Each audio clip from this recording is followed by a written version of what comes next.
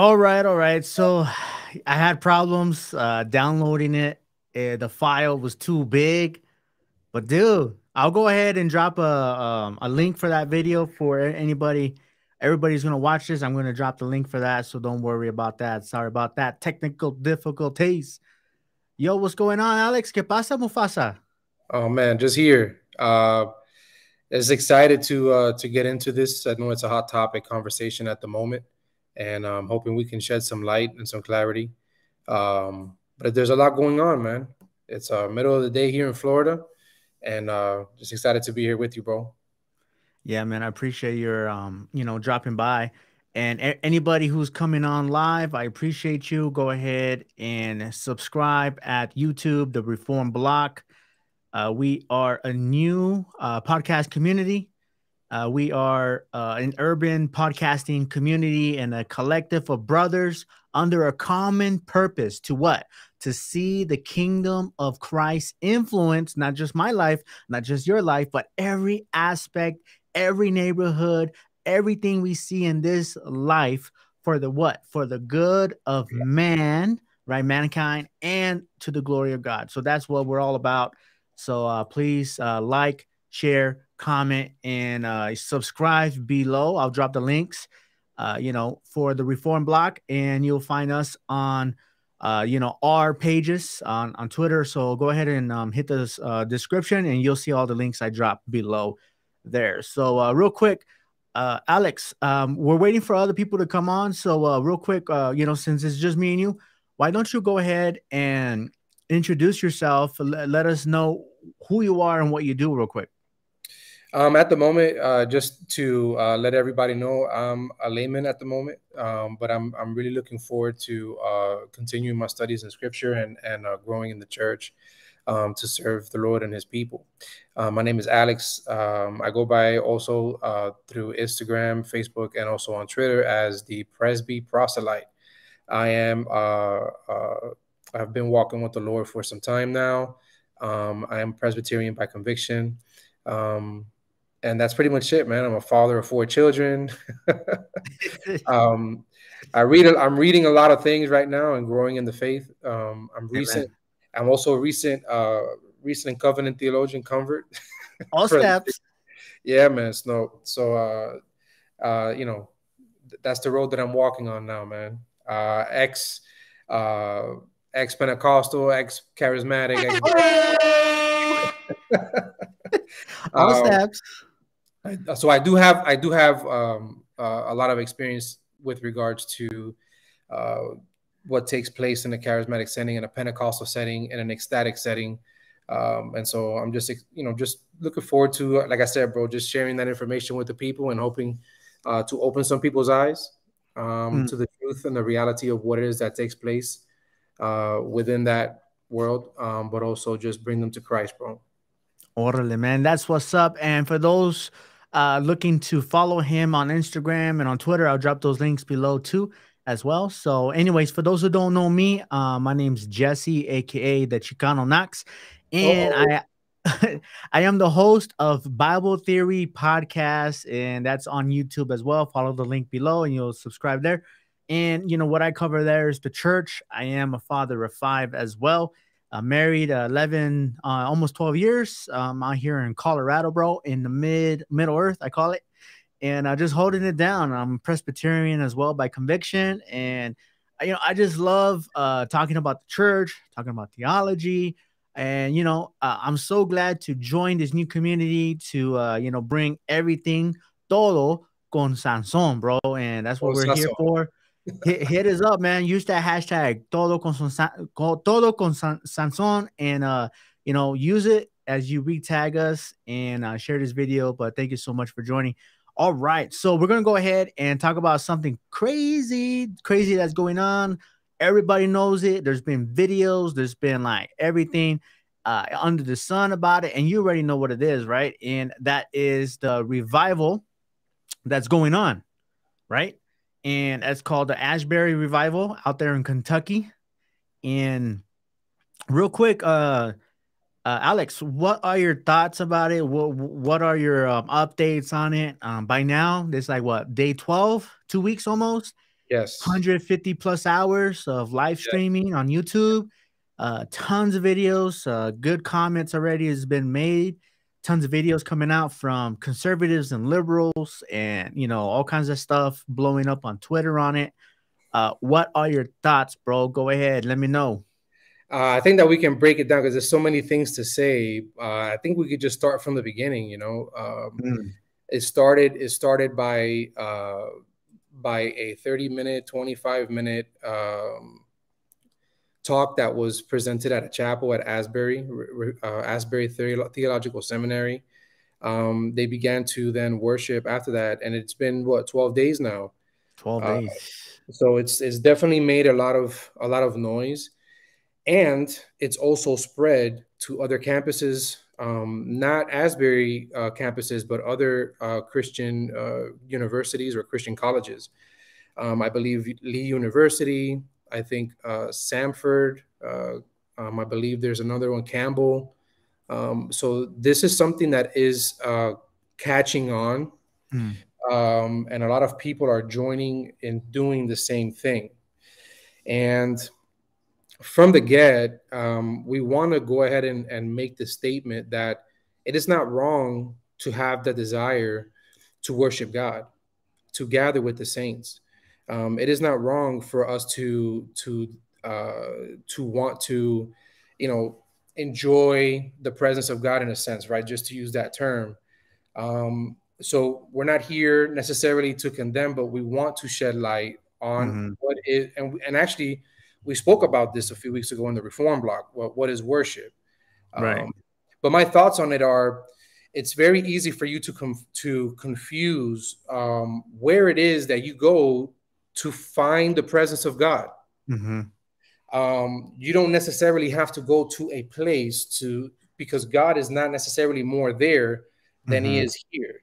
Right. Um, and I think that it um, also speaks to the condition, the spiritual condition of the people that want to flock for signs and wonders. Um, I'm going to massacre the, the, the verse. Maybe you can help in bringing it up. Um, but a wicked generation seeks for a sign. Um, and I think that that's very important here because people are so consumed with looking for a move of the Spirit. They're very consumed and obsessed with what it is that God is doing in an external sense. Um, you know, so I think that understanding that we find God that in many ways and many times, as the scripture says in Hebrews, God spoke to the fathers in many different ways and in many different forms, but now he has spoken to us through his son. And his son is the radiance of his glory. He is the word of God, the word incarnate, the word made flesh. And so we need to have a standard um, by which we can all agree that God has and is definitely speaking to the soul, and it's found through the scriptures. And so when we start to remove ourselves from what it is um, that God has said in the scriptures, we find ourselves in murky waters. Um, we, we then create a, sub, we put authority in a subjective experience as opposed to the objective truth that is found in God's word. And that's very dangerous because then you lose um, the purity of the gospel um, you lose the authority of the gospel. You lose the impact of the gospel that it's supposed to have within the heart. Um, and so anybody can literally do and say whatever it is they want, whatever it is that is right in their own eyes, um, because you're removing yourself from that which God has given to us uh, to order um, and organize and live our lives through. Amen. And you know what? You know, this is a big topic, like you said, and I don't think we're going to cover everything, but we're going to try. Okay. We're going to try our best. And there's going to be people popping up on and off, maybe yeah. later on in the, in the show. Uh, but don't forget to like and subscribe. And thank you for your support already. And obviously, we're going to get to other topics too. We're going to talk about revival.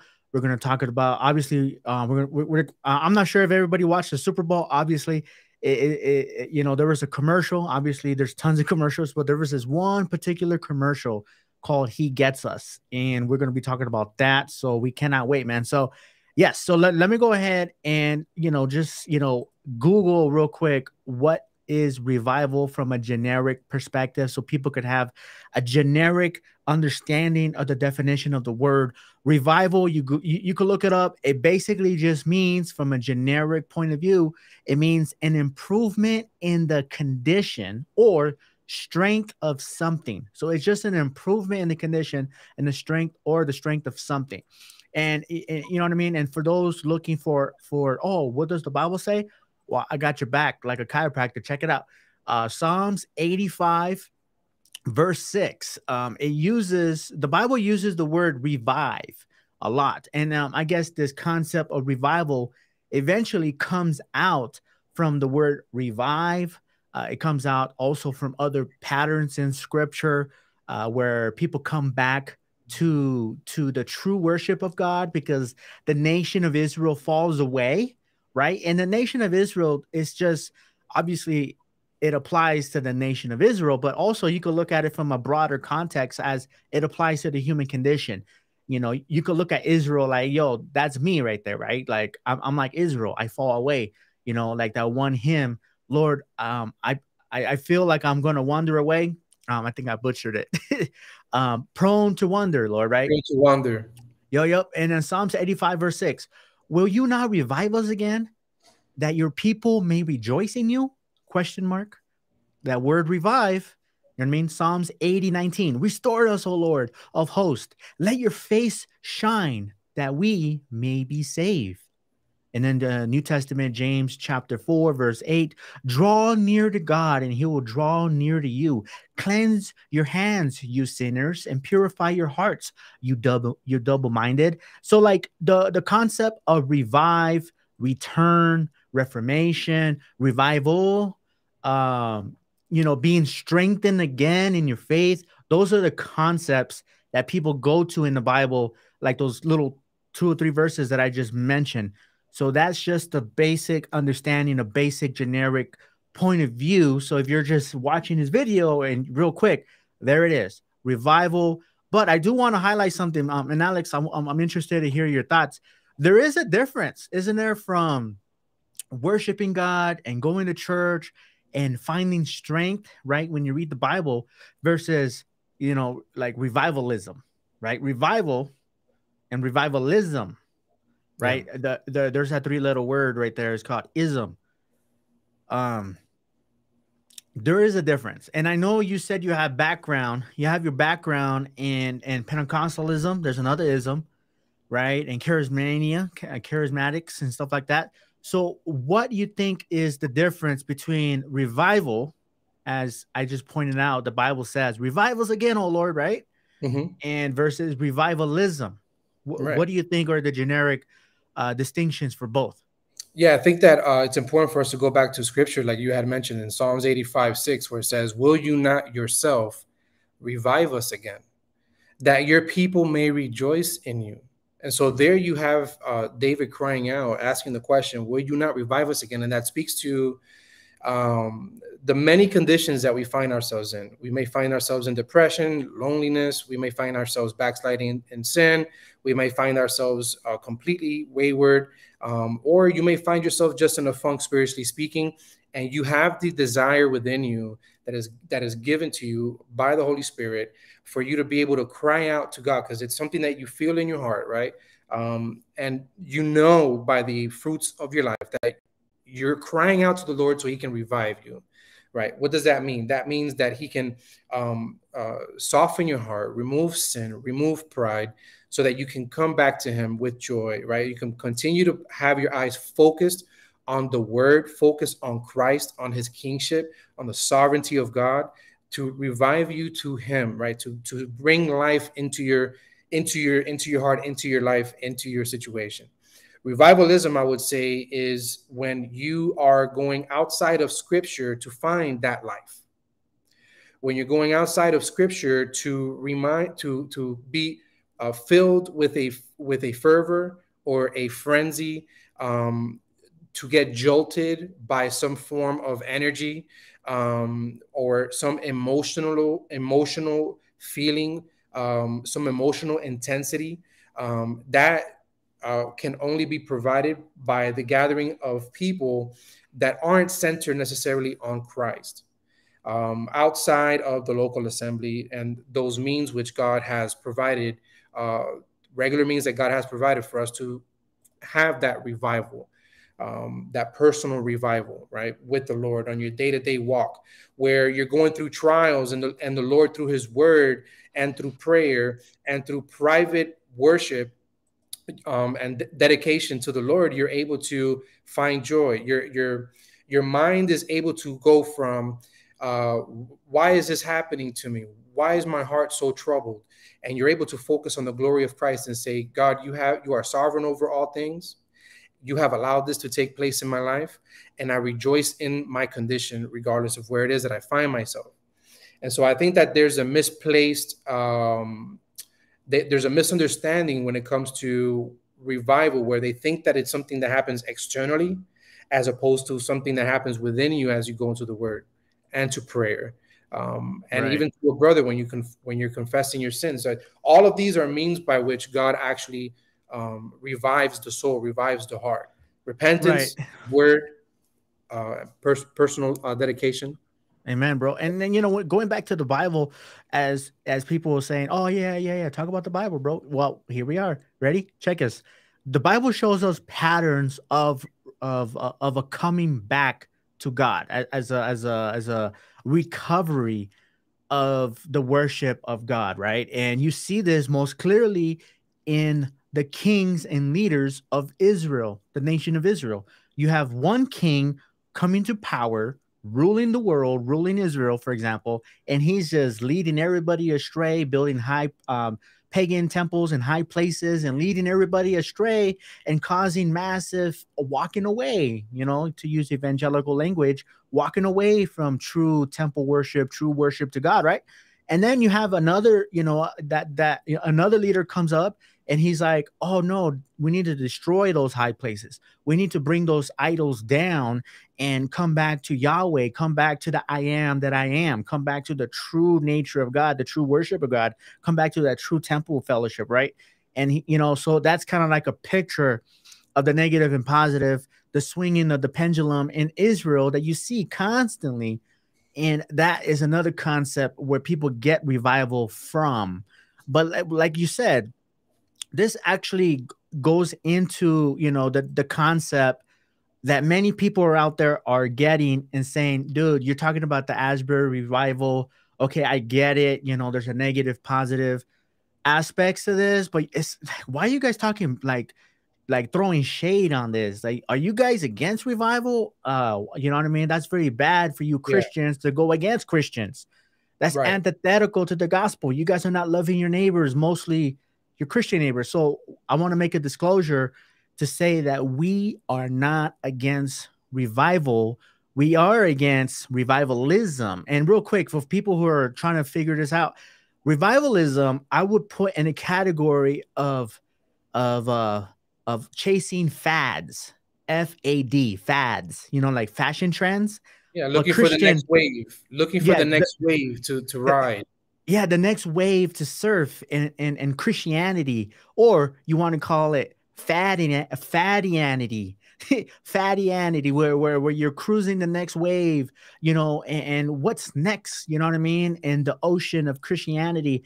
And that's revivalism. Revival is is is tearing down pagan temples tearing down the the the, the worship centers of idols and and and drawing all those pagan followers into disciples of Christ, making them followers of the true Messiah, making follow making them followers of the true Christ, the true religion, all that, right? That's the difference. Yeah, right? I would I would even I would just to add to what you're talking about, I would even remind everybody with regards to Nineveh. What happened in Nineveh? The revival is not just something that happens where you just gather together with a bunch of people, raise your hands, and then just sing songs for days on end there's repentance there, there it, there's an order to these things. And you see that true revival actually leads to reformation. A revival of the of the heart right? A revival is not just a personal thing it's a national thing. What are the fruits of it? When you look at what is happening for example in in nineveh just to use that as an example jonah gave them the gospel. He told them to repent the king then repented and ordered everybody else, even the animals, I believe, were, were repenting. Right, right. But the entire, but but everybody was there was a there was a national outcry with regard specific to their sins, and they turned to Yahweh. And so there's where you see the distinction, right? Where you're not necessarily just uh, seeking, you know, uh, an experience, but God is after reformation. He wants to reform the nation. He wants to reform the peoples. Um, he wants to revive us again, right, in an intimate sense. But he wants to reform the nation to bring all the nations are warring against against God, against the Lord, and He wants reformation, which is what you were talking about. Um, and that includes repentance of the people, a coming back to scriptures as the order of things. Um, you have the destruction and the dethroning of man-centered religion. Um, you also have the destruction of all of the idolatry that may take place. And so the gospel begins by giving people the word of God. Right. Letting them uh, fall under the conviction of the Holy Spirit, leading to repentance therefore leading to a, a, a regenerate heart, a heart of flesh, that would then lead them to truly reform their way of life. Amen. So that I can be a better husband, a better father, a Christ centered, God honoring brother, um, serving the church uh, and glorifying the Lord in the context of which I find myself in. And so that's a big difference. So we ask the question now uh, what is it that this is going to then uh, lead to? Mm. Yeah, and you know, we're, we're, we're, I guess for those who are joining in, we're talking about uh, the concept of revival according to the Bible, and we made it specifically clear that we are not against revival; that we are against revivalism and we are not against uh, the recovery of holiness. And I think that's what you're talking about, Alex, is the recovery of holiness. And you know why holiness is so important for Christians? It's because our God is holy. Simple. Hello, do the theological math. You know, holiness. The holiness is not found at a, in a place. Amen. Holiness is not found in the temple and the right. chapel of Asbury. Right that's or not New, or New York or New York or in or, Israel, the Holy Land. You know what right. I mean? A lot of that stuff comes from like the medieval times where they attach, you know, the Roman Catholics, they attach the word holy to everything.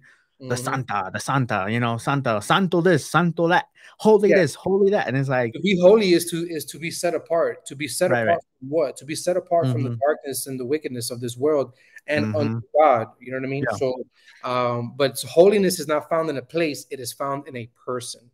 Let, let, let, let, me go ahead and read Isaiah chapter 55, verse, uh, 6 and 7. Talks yeah. about this call to holiness, this, this true revival of the whole person. Listen to these words. All right. ESV version, check it out. Seek the Lord while he may be found. Call upon him while he's near. Let the wicked forsake his ways. Let the unrighteous man his thoughts. Let him return to the Lord that he may be that he may have compassion on him or her or the households or you know the nation and to our God for he will abundantly pardon.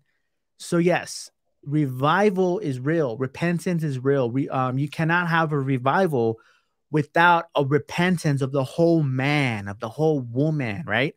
And and and chasing emotions, chasing the next wave of Christianity, the next fanianity, the fan, the, the fad right? The what's in, that's not revival. I'm sorry. Revival is like what Isaiah just said, calling the whole man out of darkness, calling him to a fellowship relationship with the true God, right? And that impacts his his his hands, his feet, his heart, and his city, his household, everybody. It, it impacts everything. And um, chasing fads do you remember the book of Jabez or the prayer of Jabez back in the 90s? For those who are young, you know what I mean? Everybody wanted to read that book. Yo, you're not a Christian. Yo, you don't you you don't have uh you know the true spirit of fire unless you read that book, The Prayer of Jabez. Remember, it's a small little book. And then remember the next when when that went out of fashion, guess guess what else came into fashion? The Purpose Driven Life by Rick Warren And everybody in every ministry wanted to read that book to find purpose in your life. And, and guess what? That book went away. Rick Warren retired. He's not even a pastor no more of Saddleback. There's other people. You know what I mean? That that fashion trend in Christianity went away. Um, Will, uh, Willow Creek. Remember Willow Creek out there in mm-hmm. Chicago, outside of Chicago?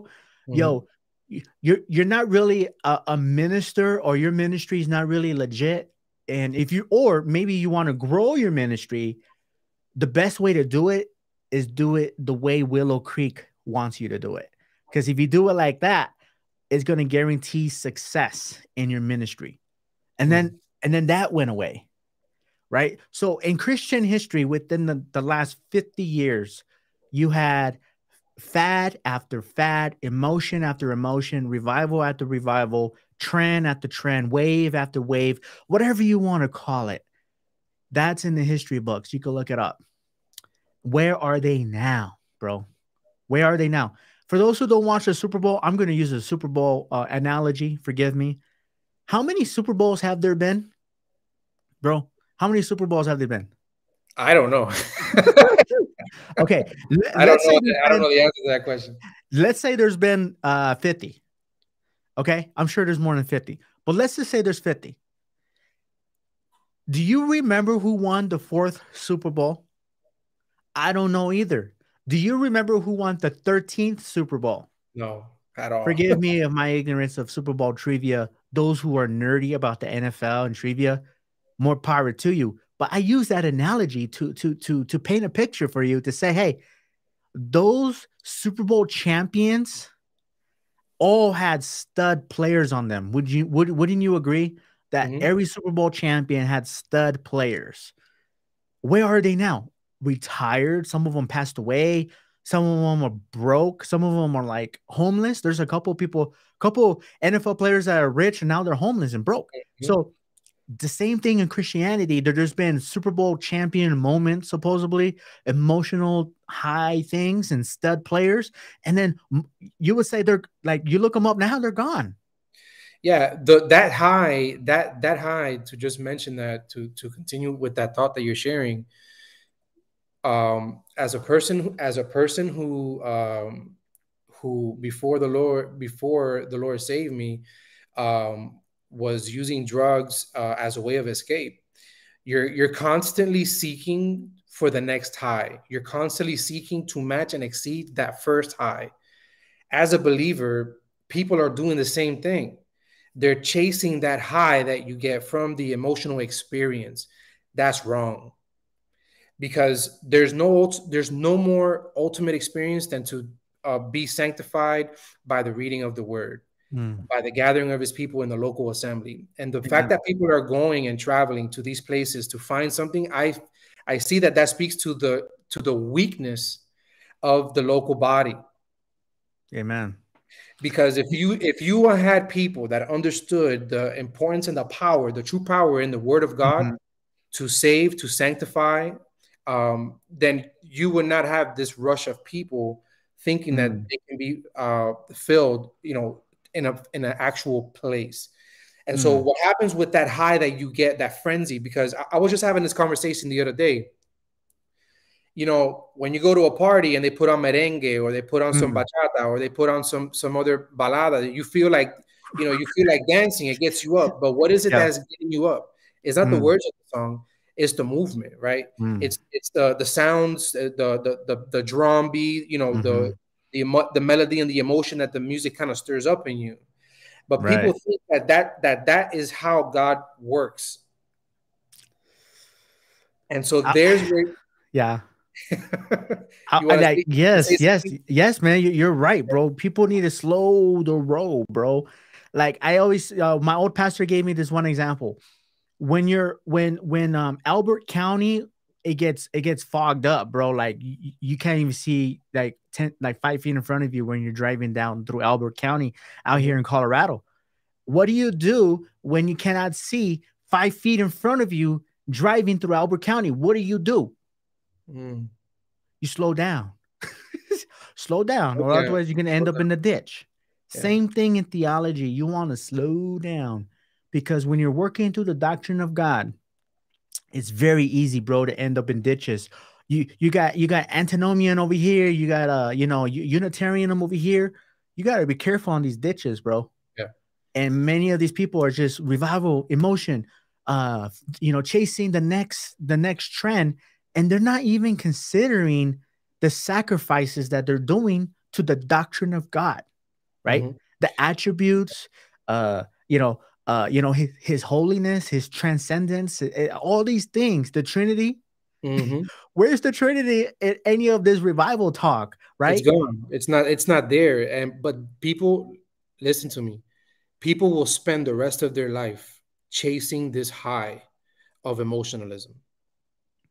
They will continue to seek out this external emotional frenzy or energy to uh, fuel them to uh, live their life for Christ, as as if that is the only thing.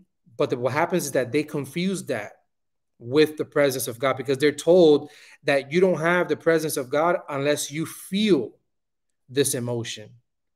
And God doesn't make us to be robots, but we go to His Word and let His Word then uh, uh, control and rule our emotions. We're our emotions should be subjected to the Word of God. So yes, we're going to feel peace when we repent and we and we know that we're reconciled. But what happens? The knowledge of God uh, uh, is what brings us that peace, right? Uh, repentance and reconciling with the Father is what allows us to say, okay, man, the Lord died on the cross for my sins. I no longer have to carry this burden. Therefore, that burden is removed. I feel peace in my heart. Why? Because my heart is reconciled with God. You know what I'm saying? I am found in Him. I no longer I know now that I no longer have to stand before God and pay the penalty for my sins because Christ was uh, nailed to the cross for my sins. I'm treated as his son, and Christ was treated as, as the one who broke God's law. And so um, there's a right emotion that we have, um, which comes from a proper understanding of doctrine in the scripture. And um, uh, the people people that go there will continue uh, will continue to actually chase those fads, chase those emotions, uh, chase that wave um, for the rest of their life. And they will continue to struggle. Um, they will continue to lack purity in their heart. They will continue to, to find themselves um, uh, lacking the true essence of what it is to be a, a believer. And they will continue to um, need this revival you know, mm-hmm. I, I, mm-hmm. need to get my injection in order for me to mm. go ahead and proceed uh, with my day. Yeah, it's very addicting, bro. When you live high to high, Christian Christian emotion and emotion. But and, and, and I really wanted to stress, you know, we're not against revival. We are against revivalism, and that's what we're talking about. The fads and the trends. We are against that because the fads and the trends they come and go we are against we are for sorry for real change real revival of the whole man of the whole church that applies to everything holistically right? So yes. but i and i do want to establish these things you know slowly because i don't want to move up quickly because people who are watching this is a very touch, touchy subject. So I, I really want to get this down as great as possible right? And as best as we can. And i really want to make an argument from the positive perspective of why, bro? Why? Why do we need revival right now? Right? What is the argument for the need of revival? Not revivalism, revival. So, uh, if you want to go ahead and um, say that real quick. Uh, sure, man. I mean, I need, I need, I need the Lord every day, bro. I need His Word. I need His Spirit to strengthen me.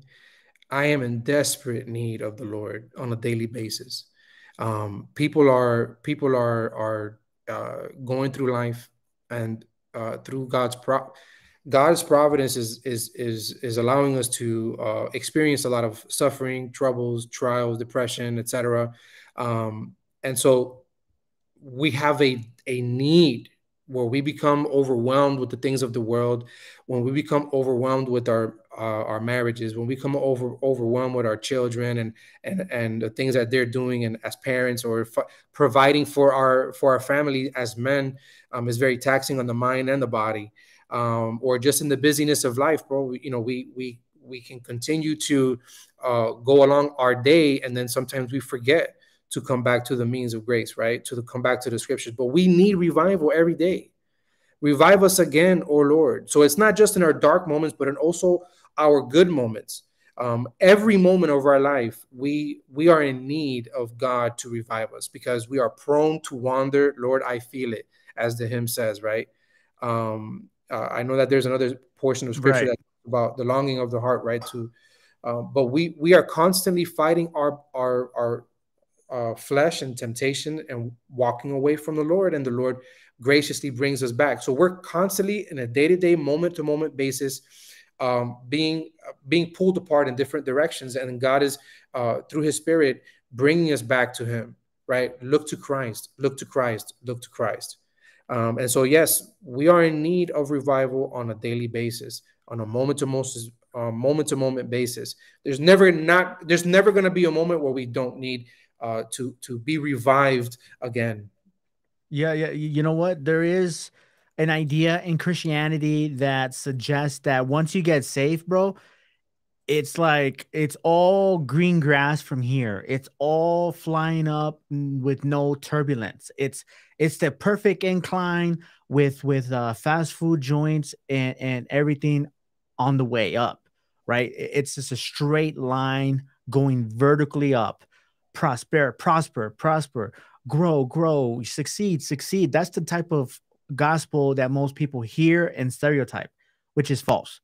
Christianity is not like that. You know, the, if you read the Bible, just read and observe the life of Paul, and and um, you will observe that Paul did not have, to, you know, his best life now, right? he suffered many trials, many tribulations, many, you know, he questioned. He was like, Yo, I don't even know if I was in the third heaven. And he's like, Lord, please take away this like thorn in the flesh. And the Lord said, No, you know, so he, he suffered many, many things. And I'm sure he, he was probably depressed and, and, sad that he was like cold and, and abandoned in a prison, right? And you know, he, he's human. He, he that's negative. This the Christian life is more like a like a uh, like an up and down, like an up and down, like bam, bam, bam, woof, succeed, triumph, boom. Ah, man, get back up, succeed, triumph, peaks, peaks and valleys, peaks and valleys, peaks and valleys, peaks and valleys, right, bro? And and, uh, and that I think that's why we need revivals. We need the gospel to remind us. Why do we need the gospel preached to us every single weekend at church? Because we forget, bro. We forget how God good, how good God is we forget how great God is. We we we forget our history, where we come from, right? And, we you know we forget all these things. So that's why we need the gospel being preached to us all the time, and we need revival all the time, personally, right? And otherwise, we if left to our own devices, you know, total depravity, bro. We walk away real quick, bro. We, we'll you know what I mean? We're gonna walk away uh, fa- faster than fast, you know. Um, but we have Oh, we have Aldo. Aldo. Aldo now. Hello. Can yo, you hear yo. us? I can't hear y'all. You can't hear us? We can hear. We can hear you. Hello. Uh, I I hear I hear you. Hear you. But but you can't. I can't. You can't. Hold up. I'll I'll check your settings, bro. Oh, I think now. Check, check. Yeah, can you hear us? Can you hear? Can you hear us? Hello. Yeah, yeah. I don't think I don't think he can hear us. I'll take him off real quick. So no, see, I'll take him off real quick so you could uh fix that. Um, what were you saying, bro? Uh, why we need the peaks revival? In the, valley, the peaks and the valleys. Um, what? Why is it so? Uh, why do we need revival? Um, uh, every single day of our lives. Um, so that's kind of like the conversation that we were having. Um, you know, God, God does something. God does something. Um, he strengthens us in the peaks, um, so that we can be prepared um, when when we enter into the valleys, and then you know um, He uh, in the valleys then revives us um, and brings us to a peak. You know, so right. life is not easy. Life is not you know um, flat. Um, we're going to experience things in life that remind us to look to christ. I'll bring um, on aldo real quick okay aldo yeah, yeah, yeah hear me check, yeah check. Yep. Okay, good. I can hear you now. So, uh, Aldo, uh, real quick, why don't you introduce yourself, who you are, and what you do, real quick, for those who don't know you? Uh, you see my shirt. Um, I play for PSG, France. No, I'm just kidding. um, yeah, my name is Aldo. I'm a pastor in the PCA in Miami. That's about uh, that's about it. All right, man. And uh, real quick, what we're talking about, uh, we're moving systematically, categorizing revival uh, based off the Asbury revival um, in general, but we're covering the diff. Um, I think we covered the difference between revival and revivalism. We talked about what the Bible says about revival. Um, right now, we're, we're making a positive argument of why we need revival, either personally, uh, culturally, and then maybe why the concept of why we need revival is important. So, I guess what we're talking about real quick uh, between me and Alex, we were just talking about how we grow, how we become born again, you know, following Jesus, and it's not a straight shot, right? It's it's like up and down, up and down, peace, peace and valleys, right, Alex? And mm-hmm. you know, we we experience highs and lows. You know, our hearts are prone to wonder. We we get pulled in seven different directions. We uh, sometimes we grow indifferent, um, you know, towards the spirit, towards the church, towards reading reading the Bible, and that's probably an argument for, hey man, you need to come back, like Psalms chapter eighty says, revive us, O Lord, because we've grown indifferent to you. So maybe that's a positive argument to to the necessary need for revival in your life to come back to the gospel again um, so I think that's what we're talking about right now. So, yeah, so, I mean, like revival, revival is something that happens over and over again, you know, in, in the Bible. You know, people recapture the gospel, they recapture worship, they recapture the the crucial teachings of the scriptures, and then they become familiar, and then they become calloused, and then they become syncretistic, and then syncretism leads to um, a total replacement or corruption of, of biblical worship and teaching and preaching, and, and then ergo the, the need for revival. But the thing about revival in a biblical sense, it's it's returning to the ancient past, as Jeremiah says. It's returning to the simple things that God used, you know, to uh, capture the hearts of God's people um, as opposed to you know I think the way we think of revival in America is a new measure, a new move of the spirit. Um, not this is the thing. Like I, am going to do a podcast on this probably eventually. I'm, I, I feel like I, I have the, like a thousand reasons to do other podcasts, but um, historically, if you look at the Reformation or their awakenings, it was always something that about how God normally worked in the past that had been somewhat compromised or corrupted um, added to and, and revival being like let, let let's get back um, to the essential basics. Not let's let's let's find some new extraordinary other uh, measure and means. Um, and so in some sense like i mean you, you get used to the gospel and and therefore revival is necessary in order for you to um, recapture the, the necessity of the gospel. And um, one of the things that you notice about Asbury uh, and all the testimonies is that it's very little of the people that are talking are actually saying things about the story of redemption and the doctrines of grace. They're, they're just talking about their subjective experiences and how you know they had these feelings and god you know took them away from those feelings. They had negativity and now they have positivity. You know i went from negative like, to positive that biggie smalls philosophy. Yeah yeah. Nothing about like um you know just just look at like like what happens like in in the revival you know in, in elijah's day like you see the altar you guys have built and, and, your and your ways of conjuring up spirituality. He's like let me build the altar of yahweh with uncut stones. Mm. you know which which speaks about like you know the worship of god that is not made by man but is received um, from god to man. Um, but you know if what you think about revival is in America, it's all these stones and uh, monuments that are, are pretty much fashioned and made by by ourselves. And yeah, yeah. is Yeah, so revival after our own image and feelings and music, and Yeah. it's like, well, God is not really all there, you know.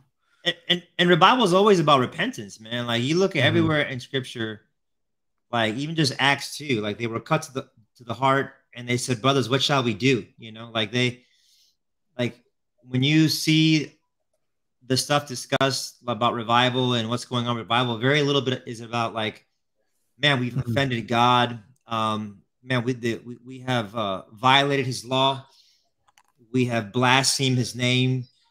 You know, we we have uh, you know, it's not Set up idols. We've set up idols. Uh, Mhm. yeah, yeah, yeah. All these, It's- all it's- these things. That's going back to what the Bible says, right? You know, and just rewind that video, this video, and you'll you'll see that.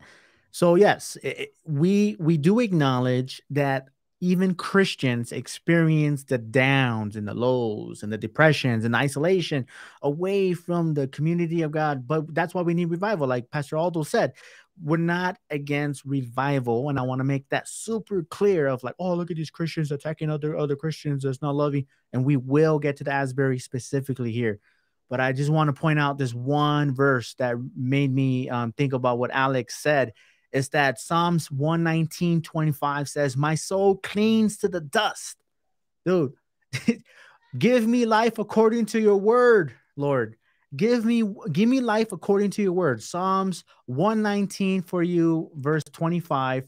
That explains the need for revival, spiritual reformation um, prophet Ezekiel tells the Lord, uh, Lord, you know, God tells him, can these bones be made alive? Right. And a lot of people point that out to the soteriology, you know, all that stuff. But like, the, he's like, no, only you know, only you know, Lord.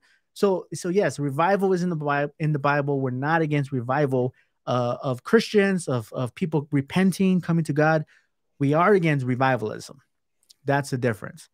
Um, specifically, Asbury revival. Yeah. We talked about Yeah. it. Let's get to it. Has the movement, has this movement been hijacked or is it legit?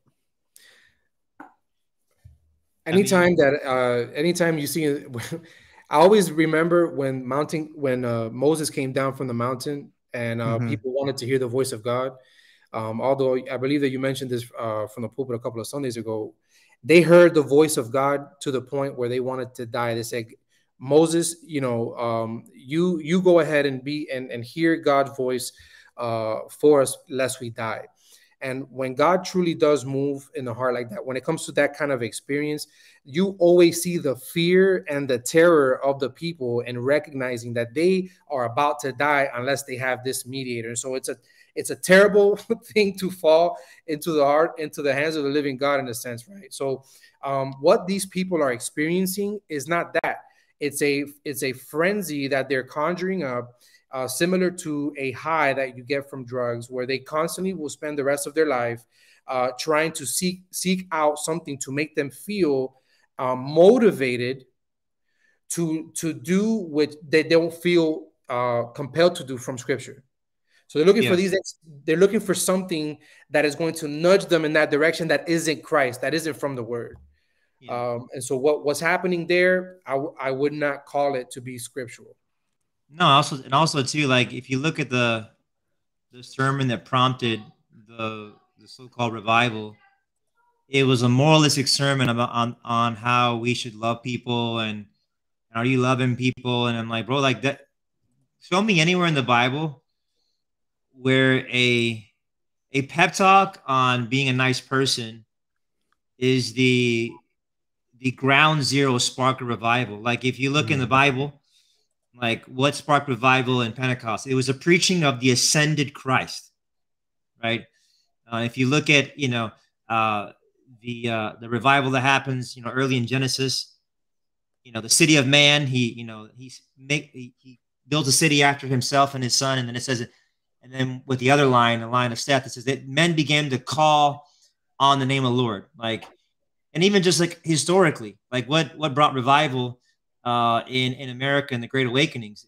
If you look at like the, the uh, web of all the events, Jonathan Edwards preached a sermon on Romans 4 on being justified by the imputed righteousness of Christ.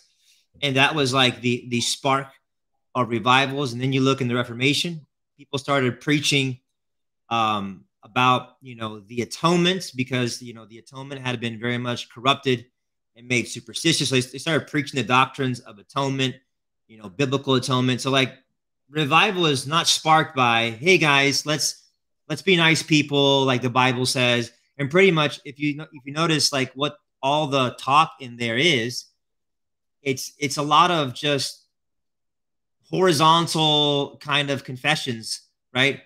Not like a a recapturing of some high uh, vertical objective doctrine about redemption, but it's just a bunch of uh, you know sentimental moralism you know. And that's one thing I, I've, I've noticed is just even no, like no, the right. spark. Absolutely. We, we, um, there you mentioned Jonathan Edwards in his uh, Signs of True Revival, um, number four. Um, he gives and he says, and I quote: "When men are led away from false falsehood into truth," and he quotes uh, First John, uh, uh, chapter four, verse six and I quote, it says he says, one is called the spirit of truth, and the other is the spirit of falsehood. And he uses that as, as his point to say that when revival happens, there is a massive um, exodus out from falsehood, false doctrine, incomplete doctrine, incoherent doctrine, unreformed doctrine, unbiblical doctrine, anything heresy, falsehood, half truths, all that stuff into the true doctrine, into the correct doctrine, true conformity unto what the scripture says, the 66 books, yeah. and to historical confessional yeah. Christianity, not just whatever you want, anity, um, however you like it, anity, fatty faddianity, anything like that. Jonathan Edwards said the true one of the true marks of, of, of revival is a, a massive exodus exodus out of out of falsehood into truth. Yeah, yeah. And that's right? and what you're seeing here is the reverse of that. What you're seeing, what you're seeing vagueness. We're celebrating how vague spirituality is. Yeah. You know, loving Jesus, it doesn't have to be defined. It doesn't have, you know, it's it's it, it's revival always specifies that which is vague. Mm like you said, Alex, it's the opposite. It's it's it's making vague vague that which is specific.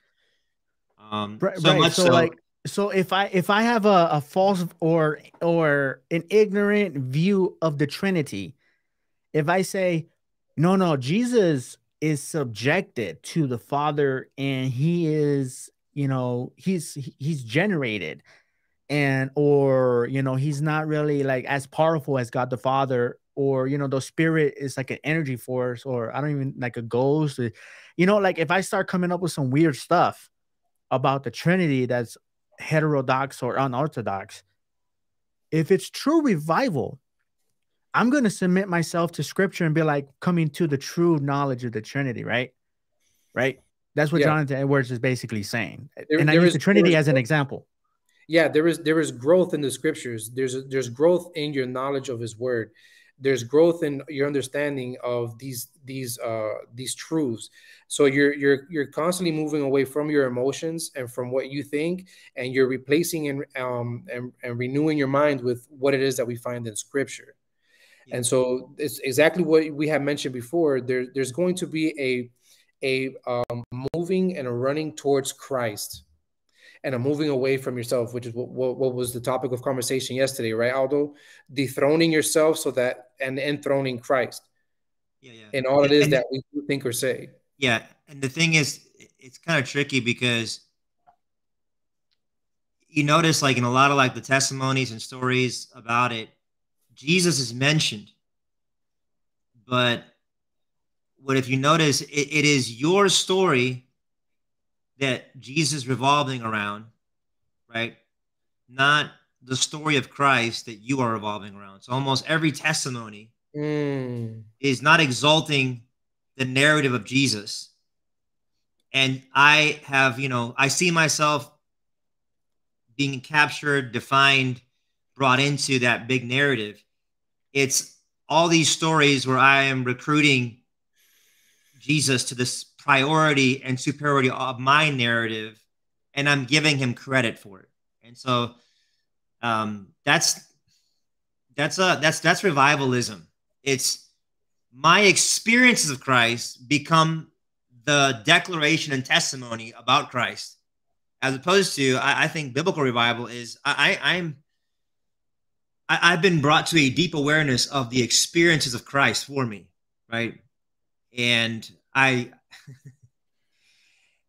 I'm telling you about the greatest man uh, who is God and man, and about his narrative and how it has just rewritten me into it. I'm not recruiting Jesus um, to be my cheerleader about you know all these horizontal things about myself. Um, and you know, to me, like revivalism is is is is Luke 18. I thank you, God, that you know I am no longer, you know, blah blah blah blah. You know, all all this like just I I I I I I I I I um with Jesus in the background. I I I. Yeah. And you know what? that, that, that, brings that brings like that brings us like that my mind to the to uh, not to the next point, but like where I'm hearing you go, Aldo, is that um, true revival of the heart, right, is a humility of spirit. Um, is that liver or a frozen gizzard or something? These are dates, man. Oh, okay, okay. yeah, me, but, myself, and I, the unholy trinity. It, yeah, all about you. But there's there there's a true brokenness, right? Like when you look at the prophets, like woe is me. When when when you truly have a to use a spiritual experience is is recognizing Christ is seated on the throne and in light of his holiness I see the sin that put him on the cross. And so that should lead not to a revivalism or to an emotional frenzy, but that should lead us to be um, uh, Christ centered fathers, Christ centered husbands, Christ centered employees, Christ centered employers. So there's a real, tangible reformation that happens in the context with which we find ourselves in. Yeah. And so it's not something that you go, it's, it's like if, you know, these people are acting as if you can go to the store, buy and purchase something and bring bring it so that you can share with your family. And that that's not how that's not how this thing works. Um, and so uh, yeah. yeah, you yeah, can't you can't schedule revival. And it's kind of funny. This happens at, has happened to Asbury around the same time of the year many times. Yeah. So if, if, if your revival is scheduled, it's not revival. That's not how it works. No one in the history is like, yeah, you know, that's Finneyism.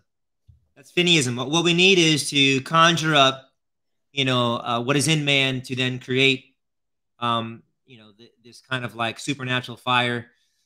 Um, revival is never, I, I'm going to say this, it's not planned in the sense. Obviously, you can be praying, right, um, for God to move, but like most of the times, it's people are doing normal things that Christians should be doing, right, like the means of grace, and um, you know, and God, God shows up. God shows up in in an unexpected way, and and when revival shows up, you don't want to stay in church all day long and sing songs and hug on the floor. Good when point. revival shows up, just just just look at the Reformation. Revival showed up, and you know what? Society, families, marriages, everyday life look totally different. Revival shows up in the colonies, and guess what? People ain't going to the bars. You know what I'm saying? Exactly. Like that. That's what happened. Like when when when when when when when revival is vertical, like you see it horizontally flushed out in all of these spheres of life. Mm-hmm. Revival is humanistic, you're in this like weird trance of vertical, you know, kind of like trances of, of, of spirituality. Um, that that I mean, to me, is very Roman Catholic. Like you wouldn't, what, what, what would you do? You would go to church all week long, all the time. You were always at church, and the reformers are like, listen, God does not need your good works. Uh, your neighbors do, and so revival pushes you out uh, from you know the hallelujah uh, loopholes um, into life. So I'm saying like if as if, if there was true revival, that is utterly distinct and supernatural in Asbury, then then that town um, would feel it, not just this chapel, right? Um, and you wouldn't. I, I told you guys this on our on our our chat. Like revival finds you. You don't have to find revival. You know what I'm saying? Like historically speaking. And I would even I would even say like you mentioned the Roman Catholic experience with the trances, but I think that we can take it a step further, Aldo, because what else is there in the world right now um, that has these trances and these uh, these ecstatic utterances um, or these uh, emotionally charged frenzies um, uh, outside of, of what we would, we would consider Christendom? You have I say the Buddhists, the Buddhists, the Buddhist, you have uh, Hinduism, like that. Hindus. Uh, you have African uh, spirituality, voodoo or Santeria, as it's called, um, where you have um, even the uh, Hare Krishnas and um, the people, mm-hmm. where the yogis, the, the the the all of these the religions across the world are doing the same exact thing, mm-hmm. where they're different terminology, they're, you know, they're placing mm-hmm. their mind in a trance state where then they can open themselves up to whatever spirit it is that they worship to enter their body and then they roll around the floor making noises etc and so mm-hmm. uh, to the as to credit the asbury in a sense we haven't really seen that too much for example like in the lakeland uh, revival i don't know if you guys remember what was happening in the lakeland florida with the todd bentley situation um, where there was a lot of people getting kicked and, and a lot of people rolling on the floor and the barking and all that stuff. The carpet guys, biting. Did you guys did you guys hear about like that they would stop and turn to their neighbor and and and, and speak visions over them? Nah, but I don't doubt it. Yeah, yeah. I didn't see it, but what turn, what turn, turn to your neighbor and prophesy, you know, visions over them. Like, bro, that's like witchcraft, bro. It is witchcraft. witchcraft. That's Santeros, bro. Right. It is like witchcraft. It is. Yeah, and for those for those who are looking for resources of where we're getting all this information from, there's a great book uh, by Martyn Lloyd-Jones called Revival. Go ahead and check it out. Um, R.C. Sproul and Ligonier has good articles and books on it. Go ahead and check out that Jonathan Edwards sermon on you know what true revival is, and those three or four resources alone will will will help you you know rethink you know and reconsider your position if you're you know not from the reform perspective for example did you but anyways uh, oh, continue oh, sorry. sorry, go ahead I'm, no go ahead go ahead bro go ahead, i just want to throw that, that out there you know yeah did you also notice the lady that that stated that uh that she was convulsing but then they they realized that she wasn't convulsing but that she actually had a spirit and that they were casting out the spirit um in asbury oh, you, oh yeah, yeah. I saw the video. Up, yeah. You open up something else. So if, if you see something, um, if you see something, say something. Lady uh, God's fancy girl is making good comments. Um, yeah, shots out. I was gonna say her, they keep attributing homosexuality, um, depression, um, to spirits. So a lot of the testimonies is my problem is that there's a, a depression spirit, there's an angry spirit, there's a gay spirit, and God delivered me from that. Again, like that, that's that's that's like pagan spirituality, right? Mm. Which yeah. which doesn't right. see it's it's like pantheism, right? Like oh, the yeah, trees has the spirit. Yeah. Yeah. The, the bush has the spirit. The, the earth has a spirit. Yeah, yeah. And and and you know, eh, biblical Christianity like looks at Colossians 2:11 you know, he triumphed over, you know, uh, the uh, the principalities and, and put them the open shame, right? You know, mm-hmm. Hebrews 2, uh, he destroyed the one of the power of death, you know, and, you know, John 12, all, all those passages talk about like the spirits being exercised definitively in the ascension work of Christ. Um, and these people are constantly um, they're constantly having to control and conjure up and exercise dominion over like these rogue spirits and they're constantly attributing their problems you know to um, some outside thing you know and again like mm-hmm. biblical revival um, is not I thank you, Jesus, for all of these external things outside of me that you've kind of like, you know, Harry Potter wand waved away through like my like uh um charismatic uh, you know, intuitions. But woe is me. Mm-hmm. It's woe very is convenient. me, wretched man Yeah. that Mhm. I am. And they were cut to the quick and say, brothers, what shall we do? Like Mhm. biblical revival is when you come to grips with the fact that you are the problem. Yes. Mhm. You are the problem. Right. Yes. And you ain't blaming nobody else, right? Right. And Um, that's and you- exactly what these spirits do. That's what these spiritual, the spiritualization does. I'm sorry to interject, but just to mention, then the point that you're making, Aldo, is that when you start to now talk about spiritual beings, um, possession, the exorcism, and all that, people are not uh, taking responsibility for their sinful actions before a Mhm. holy and righteous God. And so they're saying, I did this homosexual act, or I did this um, horrible act, or I did this. I had I had a cussing demon. I had a cussing demon. I had a sex demon. I had a homosexual spirit. A so- sex- demon. All of these, uh, but we're, we're laughing and it is funny, right? Bro. But it's real. I There- is Yes, Yeah, I've been- there are people that are saying I committed adultery with against my wife because this demon raped me, and so Bro, I had a- yeah, They need a I, therapist. I was at a meeting one time where these these like Pentecostal ladies and like we we rebuke the nicotine demon, we rebuke the depression demon, and I was like, you are that demon. You're Look, the look, one that what- needs to repent. What they're trying to My do goodness. is what they're trying to do is quasi spiritualize attacking the kingdom of darkness. Because if you read that sermon by Jonathan Edwards, he lays it out flat from a biblical pattern that one of the true marks of of, of revival is a- an attack on the kingdom of darkness. But guess what? That attack was at his very at his hardest right after Jesus ascended into heaven and he kicked the devil out of the kingdom of darkness. That kingdom of darkness has been vacant. There's no one sitting on the throne of Satan anymore.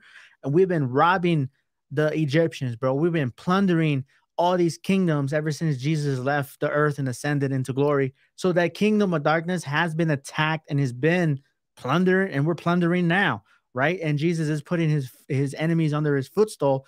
That's the way to do it. That's the proper attack of the kingdom from a superior strength, glorious point of view. None of this, you know, uh word salad type stuff. yeah, yeah. I mean, Ephesians six, like like right, all, all the the the elements of warfare are applications of something redemptive, right? The breastplate of Christ's righteousness, the, you know, your, your sandals with the gospel of peace, like the sword of the spirit, which is the word of God, like all that is everything to do with like the historic, ongoing efficacy of the gospel, right? Um, not Harry Potter, you know, um, new age kind of like uh, No- hocus None of that. I got the power. Yeah, yeah. Or, or or Second Corinthians 10. Like we destroy arguments and every uh, lofty thing raised up against the knowledge of God. And we take every thought captive to obey Every Christ. thought. Right. Right. So so if you Um, have a thought yeah.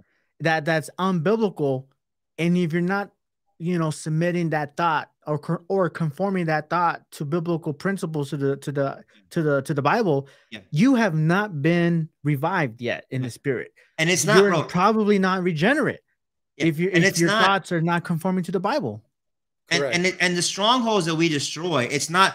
I, I heard this in these kind of movements all the times. I hear it's like we we we destroy, you know, depression. We just destroy, you know, anxiety, and we destroy doubt. It's like no, no, like we destroy idols that compete for the supremacy of Jesus. You know, um, that's the thing. It's like it, it's it's every everything that makes something that is not the Lord Himself um, supreme um, is that which we oppose. You know, So like what do we you know, see? So what do we see, Aldo? Um, I know I, I briefly talked about it, right?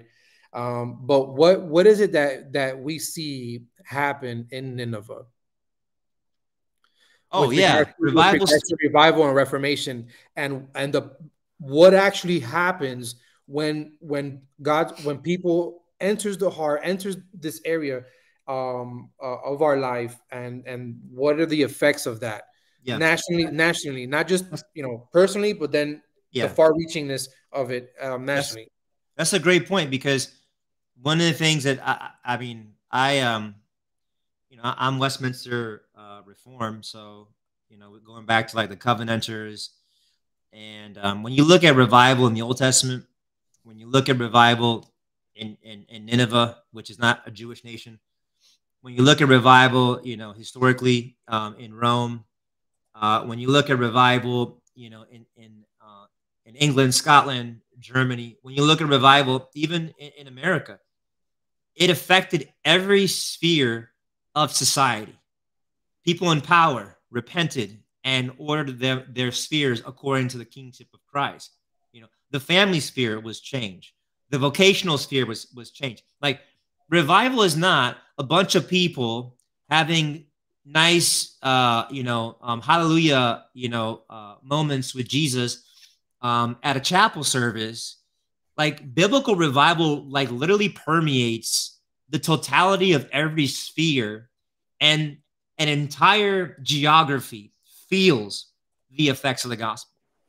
You, you're not gonna have like you- you're not gonna have Amen, to uh you're not gonna have to go into like a chapel service to find god reviving. Like Mhm. you see this just any just just study any revival. All spheres lower higher um are affected. I, I love i love how like the scots said man every every bible every family had a bible in scotland at one point. You know every parish had a minister right? Um Amen. and and and the kings were were doing psalms 2 stuff. They were they were kissing the son N- none of this God. like you know hyper privatize Praise you know and by the way this isn't even a church guys this is a non-profit It's, it's a university. yeah Right. that's, that's another that's that's another conversation that's another element of the conversation is where, where, where does it happen it's- right the, ti- the title of the of the Where's the place is a pastor? theological. Where are the elders? Where are the elders? yeah revival is sphere comprehensive not churchianity contained Hmm. and it's it's let historically i'm not saying that other people in the church don't have a role to play but i'm talking about the spearhead of revival is always church officers pastors right? In, in the book of acts you see that. Um you know in in in, in history you see that. Uh, revivals are not led by nonprofits and non-ordained people. That's just not it's not how god works. And we can and we can even and we can even go to acts when you see when you see what happens at, at pentecost and the results thereof. You know they they completely turned the world upside down and uh, god in his providence allowed for all of those people from different nations um, to hear the word of god be exalted in their own language. And what happened? Did they did they stay there until they died just worshiping and holding hands. No, they went back to their nations and they proclaimed the gospel in their language, in their Mhm. particular context. So, just to Mhm. the point that you're making, all it's not something that just Yeah. stays and is confounded here, but it spreads yeah, and it yeah. conquers and Yeah, it re- changes hearts, it changes lives in every sphere of our life. It has an impact. yeah. It has and, to and, have an impact for and, it to and be how Yeah. how would how would this be revival um, that would affect repentance in all the spheres if nothing about this is repenting for and re- and, and de- demanding repentance for the evil and wickedness Mm. of the nation and the kings um, and the church. You see, like, if you don't hate the unrighteousness, if you don't speak, you know, like if you if you're if you're not if you're not Daniel, if, if you're not Ezekiel, if you're not Jeremiah, and you see all of society and its and its wickedness, and you don't weep over it and you don't speak against it, like how on earth could you consider a movement that has nothing to do with that, right? Um, as being revival. I mean, just just we can go all over the place. Just look at John the Baptist. John the Baptist was supposedly like a revivalistic preacher, and and what did he do? You know, he said, "Yo, Herod, you can't have her. Repent." You know what I'm saying? Like like like biblical revival looks at culture and context, looks at the compromised church. He was telling that to and, the king. And, and stands, yeah, and stands between the gap of heaven and earth and says, Thus says the Lord.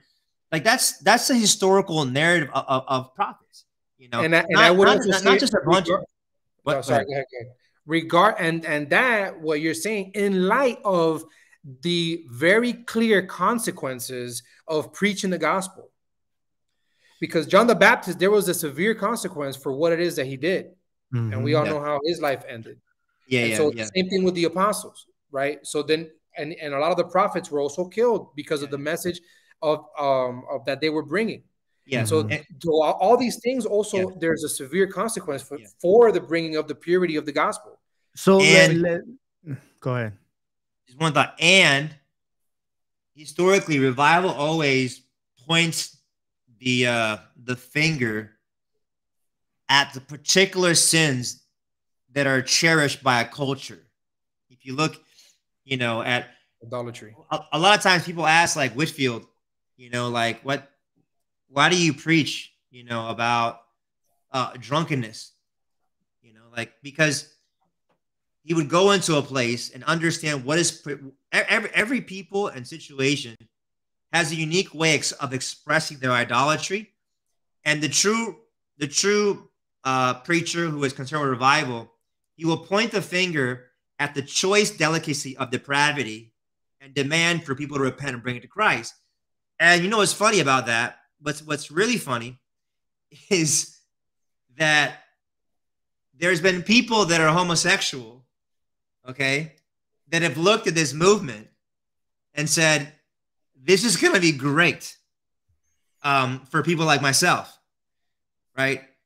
Like that's how, so how could you, this person that expresses a particular unique delicacy of depravity, um, and they're not really uncomfortable with your quote unquote revival because revival makes the particular delicacies of depravity very uncomfortable um, by virtue of of what they're doing, and and um, that's not what we see here with some of Right. these. Uh, May, um. Paul Washer. Paul Washer would say you have to make much of sin. You have to make much of sin before you make much much of the grace of God. Like you can't get to the grace of God without understanding the the the, the deepness and the darkness of your own sin. yeah, yeah, right. yeah. And, and and I think we're talking about the red flags here. So, Pastor Aldo, let's go ahead and do a blitz blitzkrieg style questionnaire to help the listeners think critically about potential red flags. Right, slow down when, when you're driving through a, a foggy county, right, before you end up in a ditch. So, real quick, and I I think we touched this, but let people think about this. Does revival mean, hey, I must go join a church now and submit to church government? Absolutely. Okay. Because there's many people out there saying, I don't need to join a church. Man, traditional Christianity is what's hurting the Asbury revival. It's all you guys that's Yeah. putting a wet blanket on us. That's not loving your neighbor, bro. Yeah. Well, you know what? You're not God, and you don't get to make up, you know, what revival is. And in God's inspired account of the church, wherever revival went, you know what? You know what Paul did? He appointed elders in every place that were accountable accountable to a region of elders, which is a presbytery, in order to sustain and uh, you know sustain that that spiritual movement. Hmm. Right. So what did what did Paul do? He he appointed local oversight, right? He didn't appoint staff. Hmm. He didn't appoint nonprofits. He, he appointed Or, local. or, or a marketing Are you Um, saying that they don't have coffee shop pastors? They don't have coffee shop pastors, and there's What about the coffee shop no- ministry, bro? The coffee shop ministry. That's fine. I mean, you you can do that, but that, that's I mean that's that's that's a Christian, you know, loving his neighbor. That that's not like the spearhead of like uh of of the kingdom of God revival, you know. So yeah, all all this stuff that um is anti-church or you know not anti-church, but maybe like you know, kind of like subtly throwing shit in the church, like that. That's never God always revive. God always revives through His institution. God said, "I will build my church," right? And he's speaking Mhm. to who? He's speaking to the officers of the church that represent the church, and they pass the keys to, uh, you know, the the elders, right? I Mhm. will build my church. I will build, you know, every Christian doing whatever the heck he wants, wherever he wants, however he wants. I will build my church. Like that is the institution that God has chosen to Mhm. use. And it's the institution that he commissions to baptize, that's sacraments, and teaching, that's the word of God, right? Um, yeah, this this is one of the issues in, in our day, man, is like a lot of like stuff that is revivalistic. Um, it, it has nothing to do uh, with local church structures and authority. Um, and Mhm. that's just that isn't He- here's I another one because I, I want to go quickly. I want to go quickly here. So uh, what you mean, guys, is does revival like like guys? You guys are being too harsh. I can hear it already. You guys are being too judgmental and too critical. Like, how dare you throw shade on something positive, right? With all the negativity happening in the world, the earthquakes and and the World War threes and everything. And here we have a story about uh people coming to Jesus. How bad are you guys like talking bad about them, right? Because so basically, here's the question: Does revival mean, as we see it so far, it's just an endless church service, right? Just an endless worship service. So, so does revival mean like just singing hymns and praying? Like, So wait, wait. So, well, no, it doesn't mean it doesn't mean I an endless an endless church service. You service. asked your question. I got you asked multiple questions, but one thing, just go go to the scriptures, right? And when it talks about the ministry of John the Baptist, you know that's it's anticipated like in Malachi and then restated in Luke. He will turn the hearts of the fathers to the children, and the children to the fathers. So revival doesn't look like people getting lost up in these emotional uh, endless, um, you know, hallelujah circles, bro. Like revival looks like, look, just think about Jesus. Jesus heals somebody, says, "Go home, pick up your mat and go home." Yeah. You know what I'm saying? Like, like, like the Ephesian church is like, they're they're hearing about like this this this co- this cosmic agenda that is now being like you know brought into like its inaugural fruition. And what do we do? Love your wife, submit to your husbands, raise your kids in the fear of the Lord. Masters, you know, like like it, Yeah. it looks like normal life being re- Mhm. reordered um to the To the- glory of God, to the glory of God, right? Amen. I would, And um yeah, not not not not, not like that, bro. Like So, so Alex, real quick, uh, does revival mean I have to learn theology now, like, like systematic theologies, and like, do I have to read sermons? Like, do I have to know my stuff now? Now that yeah, I, you, you, you need to learn your stuff. And true revival of the heart um, should lead us to love um, theology more. Um, orthodoxy leads to um, orthopraxy. We need to understand this God that um, has saved us and has given us new life in Christ Jesus. Um, and so, wisdom is found in Scripture. Um, our knowledge of Christ needs to grow. We need to continuously be transformed and renewed. Um, it's it's it's our lifeline, right? We yes, come, we come to Him and we and we feed from Him. yeah, Um, one of the, one of the things, if I may, is I wa- I want to also mention what something like this can also be a sign of, and I I think that it's safe to say that something like this may potentially be a sign of God's judgment upon people. As we look in in um in Second Timothy chapter four verses three, it says, "For the time will come when they will not endure sound doctrine, but wanting to have their ears tickled." they will accumulate for themselves teachers in accordance to their own desires and will turn away their ears from truth and will turn aside to myths. And so there is an aspect of Asbury um, that potentially, or uh, revivals, right? This revivalistic type of mentality where we are seeing that God is um, allowing this to be a sign of judgment for those that are straying from the purity of doctrine. So, yes, we must grow in our knowledge of God according to His Word. Um, God has blessed the church throughout the, throughout the years, um, you know, with creeds, confessions, um, the theology is systematic, and so it is very important. It is vital. And it's a sign of growth where you humble yourself Amen. to Scripture, Yeah. and when you are discipled. hmm Yeah. So when you are it- truly I mean- discipled. Amen. So yes, Talking about Acts chapter two. yeah. So I Devoted encourage themselves people. to the apostles' doctrine. Yep, Acts two forty two. So- Yep. So fire comes from heaven. They speak in other languages. What are we going to do now? We're going to devote ourselves to what? Fire from heaven? More fire! More fire! Fuego otra vez! No, like they devoted themselves to Right. the apostles' didache doctrine, the breaking of bread. Mhm. That's the word for Lord's Supper and the prayers. That's that's that's that's yeah. You you you you man. I want to devote myself to the doctrines of God Amen. taught by the apostles. Here's another one. But one. you said something earlier. Yep. yesterday. I want to touch on it, and that was Mhm. the whole thing about like why you why you you know knocking on this. That's not Mm-hmm. nice.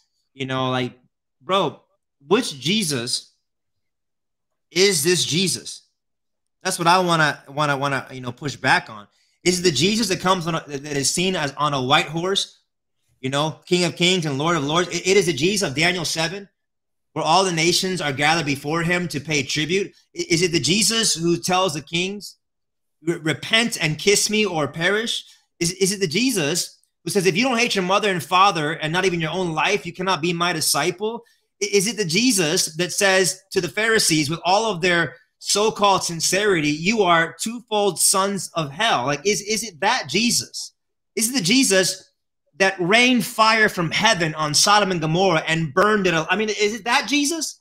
If that's if that's a Jesus, then yeah, I'm all I'm I'm all good for that. But the thing is, the He gets us Jesus, the Asbury Jesus, is this postmodern, feministic, reduced, less than actual comprehensive Christ that can't do nothing for anybody except make them feel good about themselves.